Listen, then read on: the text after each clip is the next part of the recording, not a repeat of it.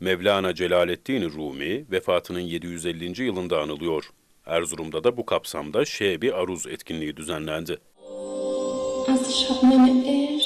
Erzurum Büyükşehir Belediyesi ve Erzurum Teknik Üniversitesi işbirliği ile organize edilen Şebi Aruz programına katılım yoğun oldu. Erzurum Teknik Üniversitesi rektörümüz hanımımıza teşrif etti. İbrahim Erkal Dadaş Kültür ve Sanat Merkezi'nde düzenlenen programda Güruhi Defnevazani Sema grubu musiki ve ilahi dinletisi sundu.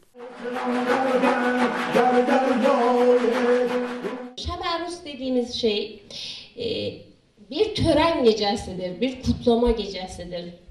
E, bu biraz ilginç bir şeydir. Nasıl oluyor da ölüm kutlanır? Yani yaşam o kadar saygın ki onun bitişi kutlanabiliyor. Bu çok müthiş bir e, konudur. Büyükşehir Belediyesi Şehir Tiyatrosu ekibinin sema ve dans gösterisi yaptığı programda şiirler okundu, Mevlana'dan hikayeler anlatıldı.